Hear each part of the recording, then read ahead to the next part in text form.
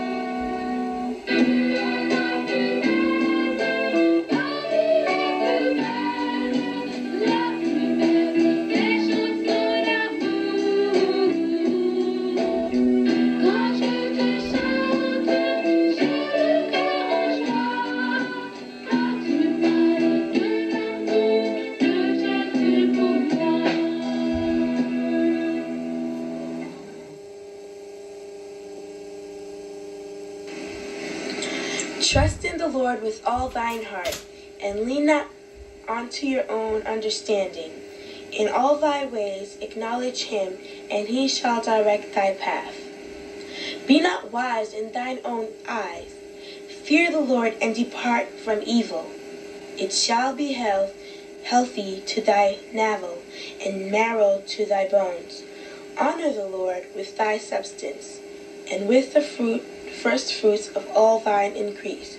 So shall thy barns be filled with plenty, and thy presses shall burst out with new wine. Proverbs 3, verse 5 through 10.